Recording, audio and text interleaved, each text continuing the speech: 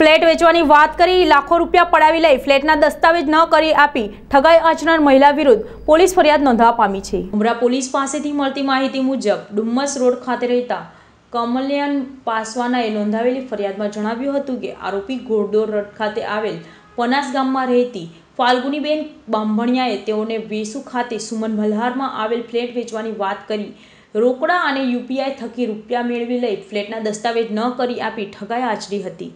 હાલ તો બનાવને લઈને ઉમરા પોલીસે ગુનો નોંધી વધુ તપાસ હાથ ધરી છે. સુનિલ પાટીલ સાથે હિતેશ પ્રજાપતિ, સમય મીડિયા ન્યૂઝ સુરત.